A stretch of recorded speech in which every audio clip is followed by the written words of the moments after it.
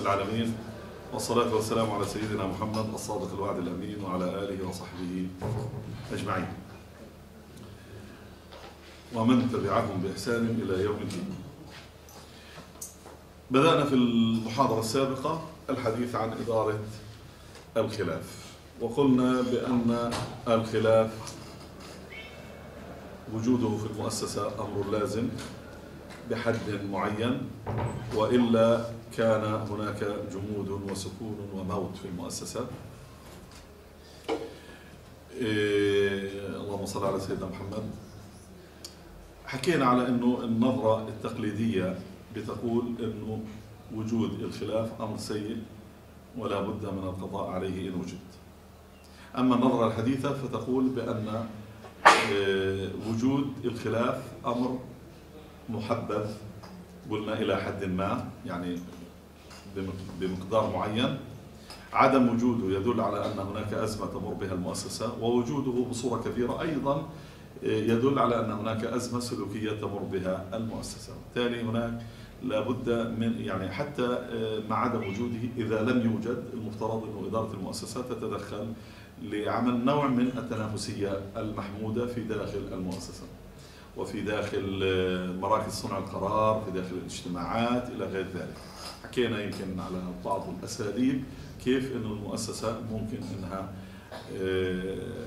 تشجع العاملين و يعني تدفعهم إلى التنافس المحمود هذا اللي حكينا عليه عن طريق مثلا اللي هو محامي الشيطان في الاجتماعات إلى غير ذلك.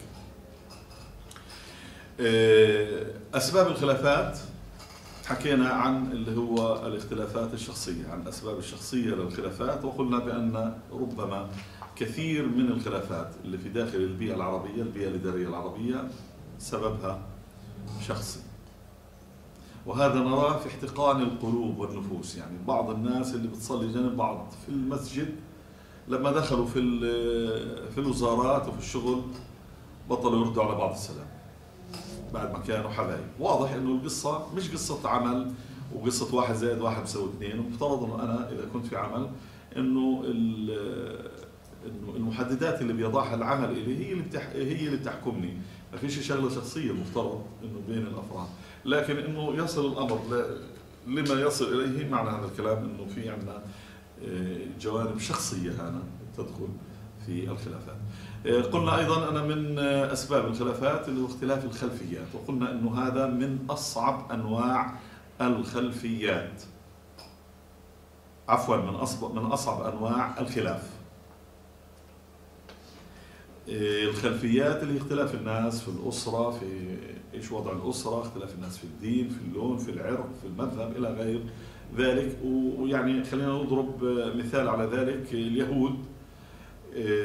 حكينا على قصة يهود في المدينة وكيف نظرتهم للنبي الجديد عليه الصلاة والسلام.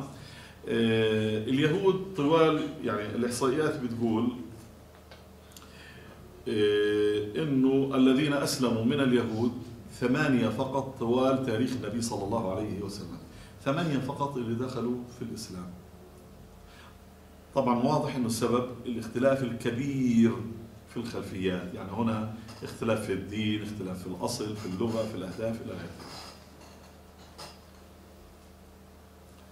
في العادة لا يفسر الناس لا يفسر الناس. هذا النوع من الخلافات اللي هو اختلاف بسبب الخلفيات. ما بيذكروش اللي هو بصورة واضحة إنه الاختلاف بسبب الخلفيات وإنما بيدعوا إنه القصة قصة مبادئ قصة قيم إلى غير ذلك. وانظروا إلى هالقصة اللي بدنا نحكيها الآن. قصة أبو جهل. أبو جهل اسمه الحكم ابن هشام. عارفين إيش يعني واحد اسمه الحكم؟ يعني كان يذكر بعقله بين كبار بين سادة قريش. عمرو بن هشام أبو الحكم. كان اسمه عمرو بن هشام وكان يكنى بأبو بأبي الحكم لحكمته. وهو الذي قال فيه الرسول صلى الله عليه وسلم اللهم أعز الإسلام بأحد العمرين. وكان يقصد هنا عمر بن الخطاب أو عمرو بن هشام. أبو الحكم أبو الحكم سمي بأبي جهل للسبب التالي. اسمعوا إيش بيقول أبو الحكم. بيقول اللهم إن كان هذا هو الحق من عندك. بيحكي على الإسلام وعلى القرآن. اللهم إن كان هذا هو الحق من عندك. لو واحد عنده ذرة عقل إيش بيقول؟ بيقول فاهدنا إليه شو بيقول اللهم اهدنا الحق حقا وارزقنا اتباعه. وأرنا الباطل باطلا وألهمنا اجتنابه. اللهم إن كان هذا هو الحق من عندك فأمطر علينا حجارة من السماء أو ائتنا بعذاب أليم. في واحد عنده ذرة عقل بيقول كلام زي هيك. هذا عمرو بن هشام اللي كان بنقال عنه أبو الحكم. والرسول صلى الله عليه وسلم سماه بإيش؟ سماه أبو جهل. فيش أجل من هيك. فيش أجهل من هيك. ما الذي دفع أبا جهل ليصنع ما صنع؟ هل لأنه مثلا عنده موقف من القرآن؟ من القرآن كذب ولا شعر ولا كهانة ولا غيره هل لهذا السبب أبو جهل اتخذ هذا الموقف؟ وإنه آه، الدين هذا مش مظبوط ولا مصدق اليهود لما بيقولوا لهم إنه دينكم أحسن من دينه يقصد الرسول صلى الله عليه وسلم. هل هذا الكلام حقيقي هيك؟ اسمعوا قصة أبو جهل. أبو جهل كان معجبا بالقرآن. صدق أو لا تصدق أبو جهل كان معجبا بالقرآن وكان يراه من طبقة أرفع من أفصح كلام العرب. هذا رأي مين؟ أبو جهل من أفصح كلام العرب. طبعا لما يحكي واحد زي أبو جهل بهذا الكلام بتصدقوا القرآن نزل بلغتهم ونزل بلسانهم بيستخدم نفس الألفاظ اللي هم بيستخدموها. طب ليش ما صرحش أبو جهل بالكلام هذا؟ لأن إذا صرح معنا خلاص المفترض أنه إيش أنا أنه يسلم. وما هو بقول البشر مش قول البشر هذا. يعني الوليد بن المغيرة لما قال والله إن عليه لا إن له لحلاوة وإن عليه لطلاوة وإن أعلاه لمثمر وإن أسفله لمغبط وإنه بدأ يعني بيمدح في القرآن. وما هو بقول بشر؟ إيه أصبأت يا ابن المغيرة. وما هو بقول بشر؟ لا لا لا لا. تراجع. فلتات لسانها أبو جهل كان يخرج يعني كان يخرج في الليل مستخفيا إلى حيث بيت الرسول صلى الله عليه وسلم ويلبد له في مكان يتسمع فيه القرآن ويتذوق حلاوته جلس مرة يستمع إلى في الليل حتى أدركه ألف الصبح وتسلل عائدا إلى داره. في الطريق انتبه أنه في اثنين ماشيين مين هم أبو سفيان والأخنس ابن شريق. اثنين كفار. طبعا لمح من وين مروحين هذول؟ لقاهم من نفس المكان اللي هو وين؟ يعني هو لابد في مكانه هم لابدين في مكانه والكل قاعد بسمع للقرآن. تمام؟ بصوت الرسول صلى الله عليه وسلم. مسكوا بعض.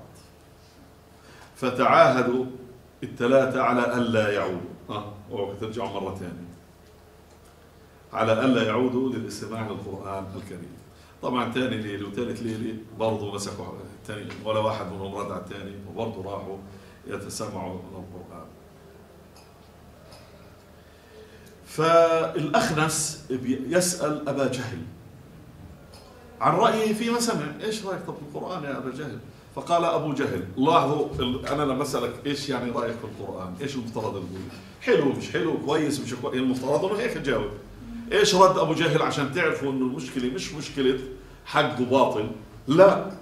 المشكلة مشكلة خلفيات تنازع خلفيات.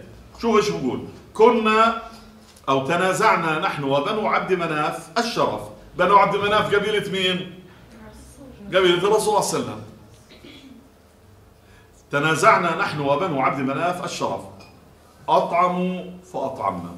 طبعا كانوا يتنافسوا في قصة اللي هي إكرام الحجيج. أطعموا فأطعمنا. وحملوا فحملنا. وأعطوا فأعطينا. حتى إذا تجاثينا على الركب وكنا كفرسي رهان يعني قد بعض قالوا منا نبي. يعني قد بعض. قالوا منا نبي. يأتيه الوحي من السماء. فمتى ندرك هذا؟ والله لا نؤمن به أبدا ولا نصدقه إذا القصة هنا عدم الإيمان هو قصة إيش؟ مش قصة أنه حقه باطل وصح وغلط. لا. قصة اختلاف. هذا قال هذه قبيلة وهذه قبيلة. هذا شرف وهذا يعني المسألة المسألة هيك. لا هي مسألة مبادئ ولا قيم. لكن هل أبو جهل هالكلام اللي صرح فيه بالليل هيك للأخنس ولأبو سفيان هل بيقدر يحكيه للعامة؟ لا. بيقدرش يحكي للعامة. لكن هذه هي الحقيقة. القضية هي قضية الشرف والمكانة ماشي؟ لكن القرآن بيقدرش يقول عليه ولا حاجة. من أجل هذا لقب أبو جهل آه، لقب أو لقبه الرسول صلى الله عليه وسلم. عمرو بن هشام لقبه بأبي جهل. الخلاف بسبب اختلاف الخلفيات من أصعب أنواع الخلاف. الآن كيف إحنا ممكن نعالج هذا النوع من الخلاف. كيف يعني إيه الآن المفترض ما دام من أصعب يكون في عندنا هيك نمسك اليهود نضلنا هالحين نقر على راسه ونخليه مسلم؟ بضبط هيك؟ مثلا يعني ندخل لصاحب المشكلة بالشكل هذا إنه نحاول إنه نغير في خلفيته هنا هل العلاج إن أنا أغير في خلفيته؟ هل سهل إن أنا أغير في خلفية الإنسان؟ ليس سهل. يعني لما لما واحد يعني اليهود حيي بن أخطب بيقولوا له أهو هو يعني هو النبي اللي مكتوب عندنا في التوراة واللي صفاته موجودة؟ قال لهم نعم. وماذا أنت صانع يا يا حيي؟ عداوته أبد الدهر. إذا القصة هنا لاحظوا. بيعرف دير بالكم كفروا على علم. عارفين الصح وكفروا. فالمسألة هنا يعني مش سهل إن أنا أغير الخلفية. طب كيف بدي أتعامل أنا مع مثل هذا النوع من الخلاف؟ أول شغلة خلينا نركز في اللي هو على تغيير المفاهيم بالمعلومات والحقائق. يعني بلاش ندخل في جدل حول القيم والخلفية وغيره بلاش ندخل في جدل حول الخلفيات هنا خلينا إحنا نركز على المعلومات والحقائق. إيه، خذوا قصة سيد من سادات العرب اسمه سويد بن الصامت رضي الله عنه. سويد بن الصامت جلس إلى النبي صلى الله عليه وسلم. أو جلس إليه النبي صلى الله عليه وسلم. إيه، كان سيد قوم. فذهب إلى الرسول صلى الله عليه وسلم يدعو لإيش يدعو للإسلام فبقول له يا سويد ألا تسمع مني؟ يا سويد ألا تسمع مني؟ فسويد ببساطة قال له لا حاجة لي. بديش. كيف المشهد هذا شايفين لا حاجة لي. إحنا يمكن لو بدنا نقول لواحد تعال بدنا يمكن نضربه كيف؟ مين أنت حتى ترفض إنك أنت تسمع كلامي؟ الرسول صلى الله عليه وسلم صبر صبر وأوذي كثيرا سواء أذى معنوي أو أذى مادي. عارفين في الطائف إيش صار معه؟ من أصعب المواقف اللي مرت على الرسول صلى الله عليه وسلم في الطائف. أوذي ضرب بالحجاره وطرد. لا حاجة لي. فالرسول صلى الله عليه وسلم الآن قال له ولما؟ يعني ليش بدكش تسمع قال عندي خير منه بيحكي عن القرآن عندي خير منه فالرسول صلى الله عليه وسلم طبعا إيش عندك؟ عندي مجلة لقمان. مجلة لقمان اللي هي صحيفة جمعت فيها اللي هي حكم لقمان. عارفين أنتم اللي هي الحكم اللي واردة في القرآن اللي من ضمنها واغضض من صوتك إن أنكر الأصوات. صوت فهذه الصحيفة كان جامع فيها اللي هي حكم اللي قالها لقمان وكان يحفظها سويد. فقال النبي صلى الله عليه وسلم أسمعني. خلينا أسمع مش أنت بتقول؟ أحسن القرآن. سمعني. فقرأ عليه سويد من حكم لقمان العظيمة في الأدب ومكارم الأخلاق والتي ذكر الله بعضها في سورة لقمان. من التوحيد والتقوى والتواضع وخفض الصوت إلى غير ذلك. ولما فرغ سويد خلص قال صلى الله عليه وسلم انتبهوا تعلموا تعلموا أسلوب الحوار هذا. بعد ما سمع منه الرسول صلى الله عليه وسلم قال هذا كلام حسن. وعندي أحسن منه. لاحظوا هنا الحديث. مدح الكلام اللي ذكره. ماشي ماشي كلامك ماشي. حطه على جانب أنا لسه اللي عندي أحسن منه. طب. لاحظوا لو قلنا بالشكل هذا زي ما بقول هذا كلام حسن. مدح كلامه. وعندي أحسن منه. أول حاجة أنت حطيت في اللي على بالك اللي هي إيش؟ الفضول إنه أسمع وين اللي أحسن. إنه أسمع. فقال الأعرابي أسمعني. الحين صار بده إيش؟ بده يسمع. فأسمعه القرآن الكريم. فقال سويد بن الصامت هذا والله خير مما عندي. وأسلم. كانوا بيحترموا عقولهم. تعلموا أنا طريقة الدعوة حوار حديث. تعلموا الكلام هذا. أنا في أحد الاجتماعات يعني قاعد قاعد يعني بأرغب أنا يعني كان المفترض إنه بيطلع واحد ففي خمسة بيعلقوا عليه. للأسف إني لقيت أنا أغلب الحضور أول حاجة بدها والله أنا بختلف مع فلان والله كلام فلان غلط لكن أنا رأيي كذا. الكل كل واحد بيبدأ حديثه بالتقليل من شأن الآخر وبيجي هو بيعمل كأنه هو أبو العريف للأسف إنه هذه منهجيتنا إحنا يعني في أغلب اجتماعاتنا في الحديث. الصح إني أنا حتى لو حكى شغلة أنا مختلف معها الصح اني أنا أمدح فيها. إني أنا أذكرها بطريقه بطريقة وأثني عليها. وممكن أقول لكن أنا عندي إضافة. تلقائيا أنا بعد ما أقول إضافتي الناس بتفهم إنه يعني واضح إنه هذا الكلام يعني أفضل بكثير من هذا. لكن بدون أنا إني أذم الآخر أو إني اسفه الآخر. ولا كيف؟ يعني لا تمدح نفسك من خلال تسفيه الآخرين. لا ترتفع من لا ترفع من شأنك من خلال تقليل شأن الآخر. مش صح. أوكي؟ اذا هذا لاحظوا هو دخل دخل في في دخل هذا في المعلومات في الحقائق.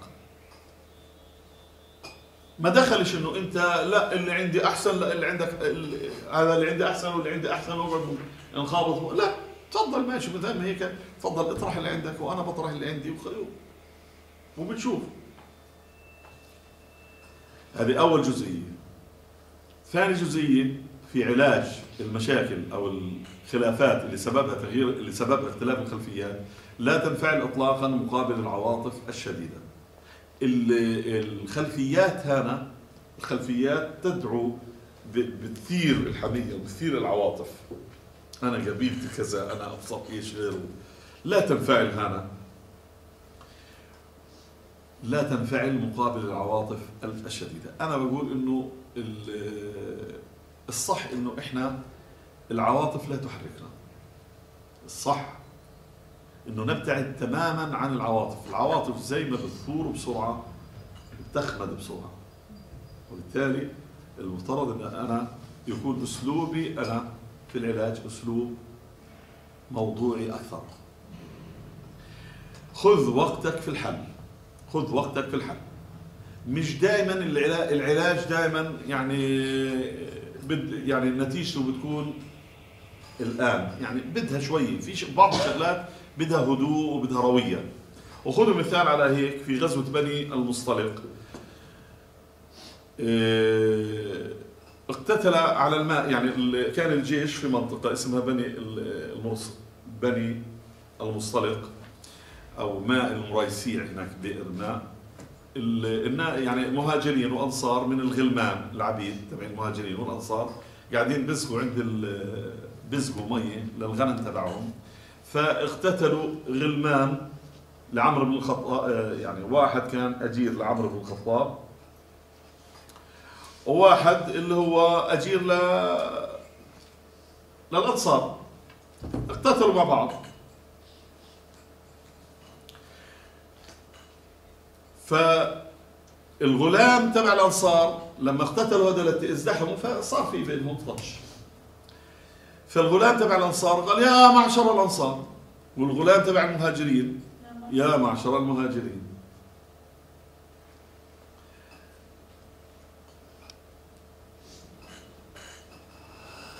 الآن سمع بالكلام هذا مين؟ رأس النفاق عبد الله بن أبي بن سلول. سبحان الله هذا رأس النفاق. طبعا آه، دير بالكم إيه، كمان لو نظرنا إيش اللي خلاه إيش اللي خلاه رأس النفاق هذا ما يسلمش. ما يدخلش في الإسلام. إطلاقا ولا حاجة سواها صح. إيش اللي خلاه ما يسلمش؟ إنه خلفيته كانت إنه بده يصير إنه كان بنصبوا له قاعدين بيعملوا له التاج على أساس إنه يتوجوه ملك على المدينة. فلما جاء الرسول صلى الله عليه وسلم وين التاج راح؟ فنافق كفر. الآن إيش عبد الله بن أبي بن سلول لما سمع هيك؟ آه، يعني غلمان غلمان بسطاء يعني عادي يعني.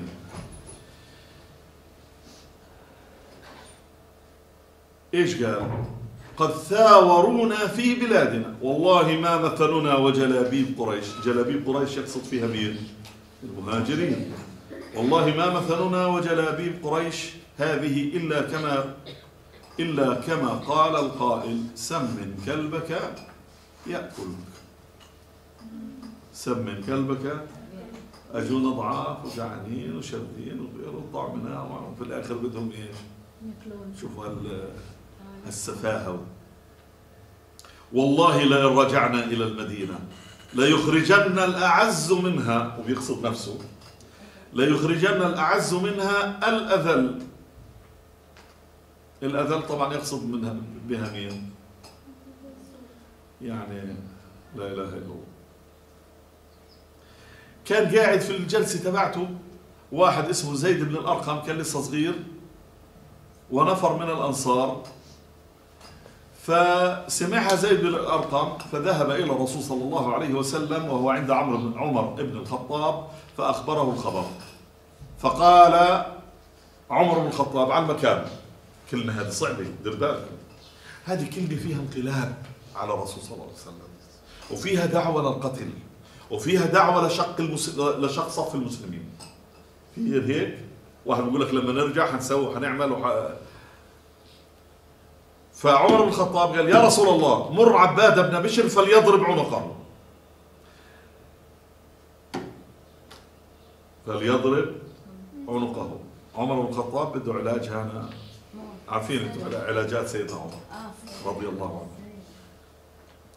فقال الرسول صلى الله عليه وسلم إحنا إحنا بنشرح قاعدين خذ وقتك في إيش؟ في الحل.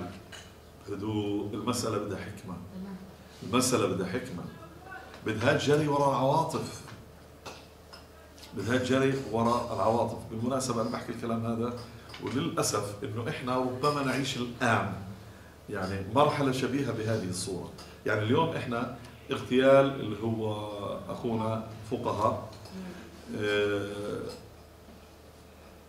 ومؤتمر آه، الداخلية أمس والتهديد بإجراءات ضد العملاء وغيره. هذا بشير يعني أنا إذا بدي أتخذ إجراءات ضد العملاء هذه لا تحتاج إلى اغتيال فقهاء أو غير فقهاء. المفترض أنه إحنا أنه إحنا في حرب مع الاحتلال مستمرة والحرب والح... ومن أدوات هذه الحرب اللي بيستخدمها ضدنا الاحتلال اللي هو العملاء. وبالتالي وبالتالي الحرب ضد الاحتلال وعملائه المفترض أنها تكون كل ثانية. تمام؟ مش مش أنا يعني يعني ما أنتظرش أنا اللي هي زي ما بقول هالعاطفة الشعبية الجياشة مثلا ضد اللي هو الاغتيال والمطالبة بالثأر والمطالبة بالكلام هذا. يعني لا تخرج الصح انه لا تخرج قراراتنا بناء على عاطفة الجماهير. لا تخرج قراراتنا. ردات فعل. مش صحيح الكلام هذا بالشكل هذا.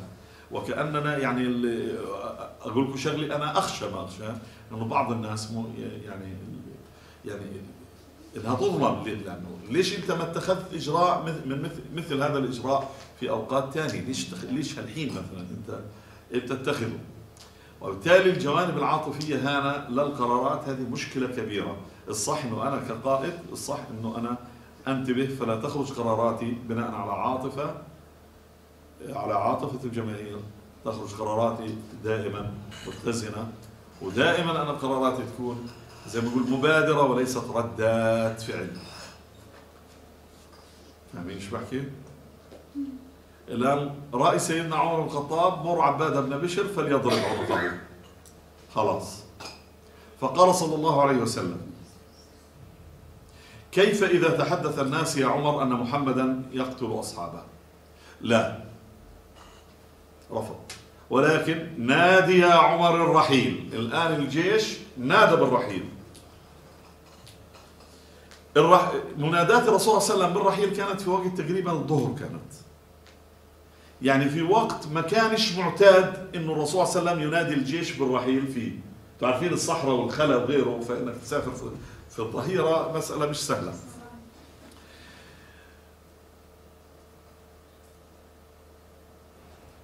الآن لقي اللي هو الرسول صلى الله عليه وسلم لقيه أسيد بن حضير فحياه بتحية النبوة ثم قال والله لقد رحت في ساعة منكرة ما كنت تروح فيها. طبعا بستغرب أسيد بن حضير يعني ليش إحنا مسافرين يعني؟ فقال صلى الله عليه وسلم أما بلغك ما قال صاحبك ابن أبي؟ زعم أنه إذا قدم المدينة سيخرج الأعز منها الأذل. عارفين أنتم سوره قريتوا سوره المنافقين المنافقون أكيد. زعم أنه إذا قدم المدينة سيخرج الأعز منها الأذل. قال هذا اسيد بن حضير وهو من ساده الأنصار. قال فأنت يا رسول الله العزيز وهو الذليل. ثم قال ارفق به يا رسول الله. فوالله لقد جاء الله بك وإنا لننظم له الخرز لنتوجه. فإنه لا يرى أنك أو أن قد سلبته ملكا.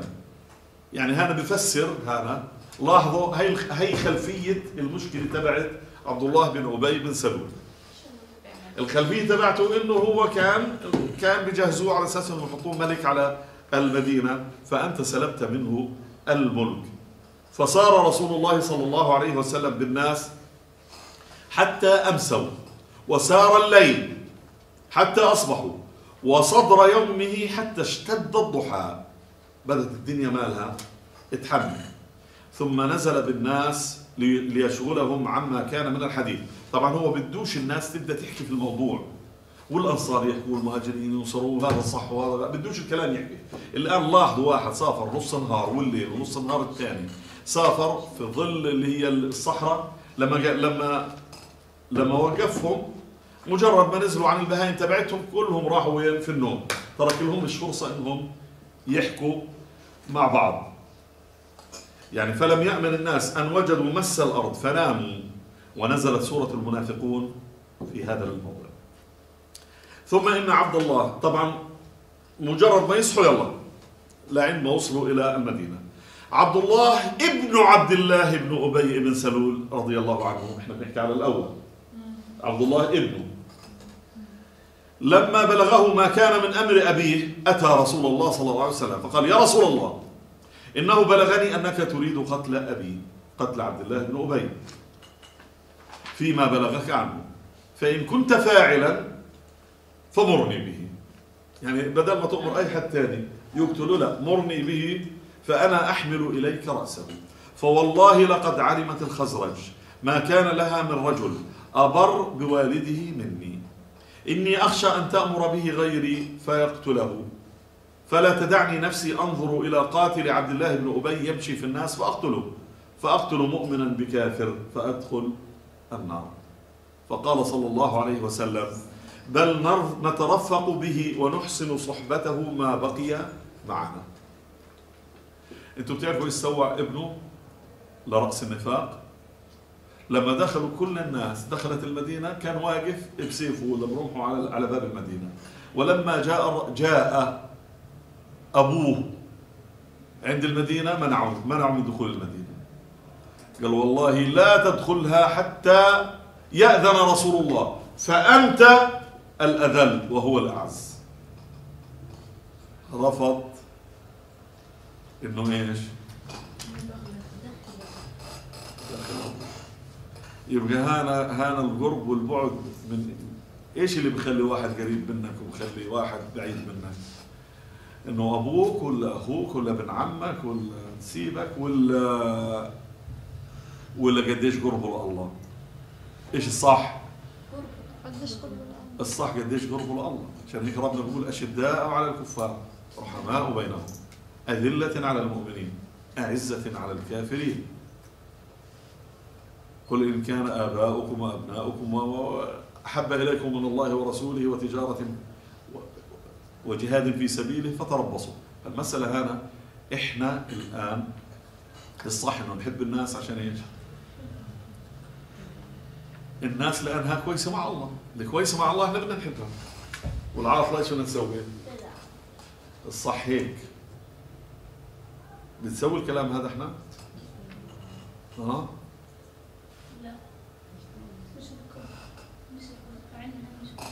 والله هو هذا هو هذا تمام الإيمان. تمام الإيمان.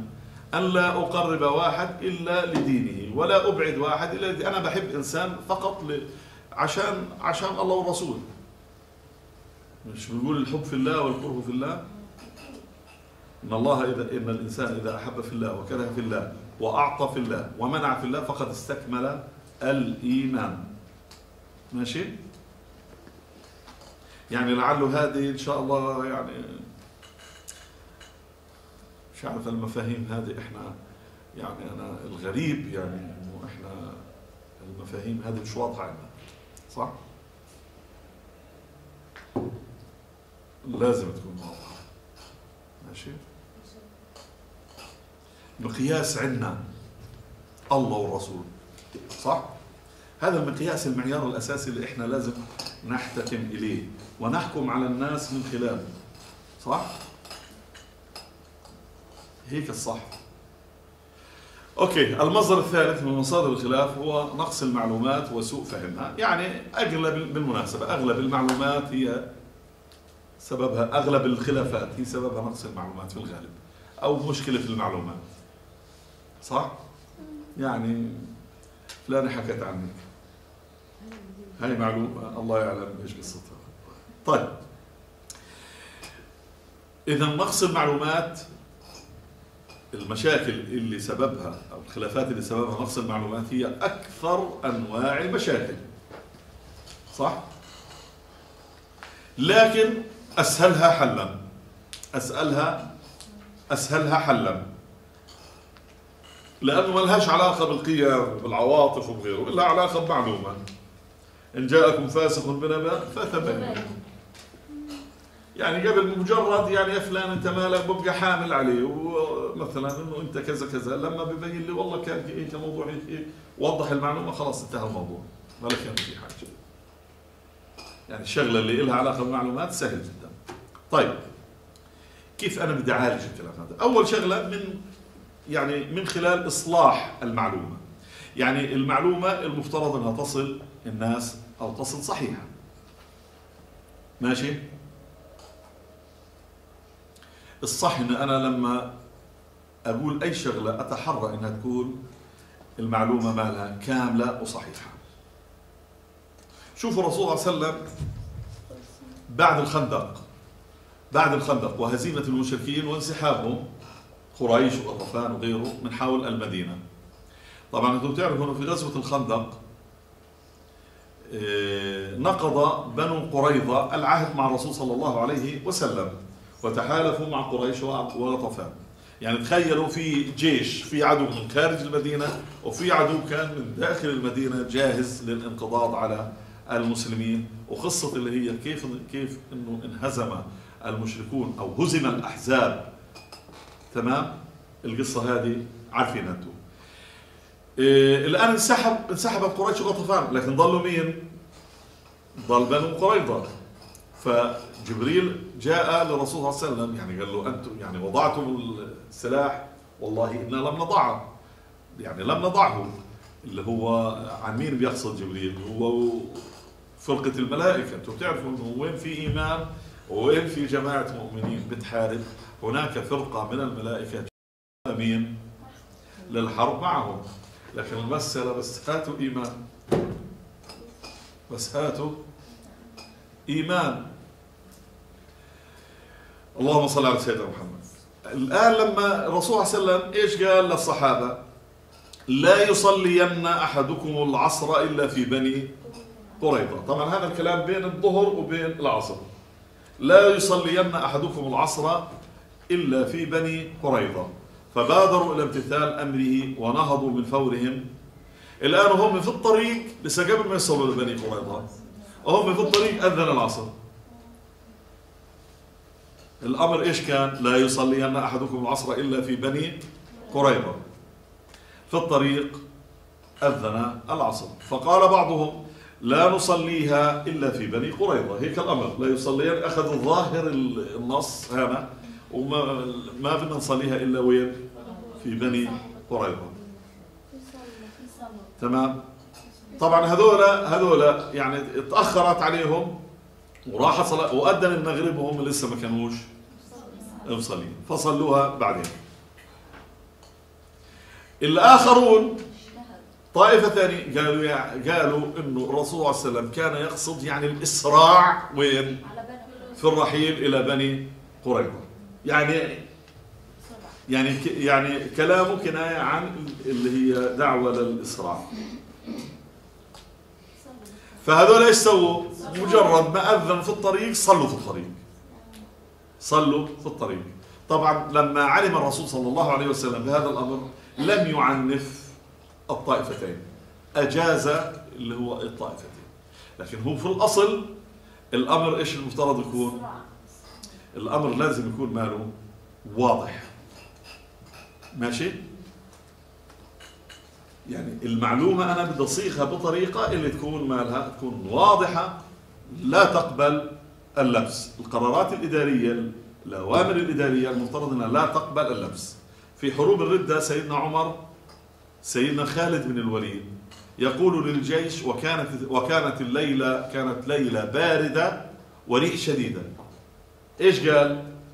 أدفئوا أسراكم. أدفئوا أسراكم. طبعا يقصد فيها إنه دفوا الاسرى يعني ولعوهم نار الدنيا ريح وسقعة. تمام؟ وهذه خيانة. أدفئوا اسراكم أدفئوا في لغة بعض العرب. يعني اقتلوا. اقتلوا أسراكم فما كان من الجماعة إلا أنهم قتلوا الأسرى الأوامر لازم تكون مالها واضحة. إذا علاج نقص المعلومات. أول شغلة إصلاح المعلومات. إعادة صياغتها بطريقة إنها تكون مالها لا تقبل اللبس. واضحة صحيحة. ثاني حاجة إعادة توزيع المعلومات أو التأكد من وصول المعلومة.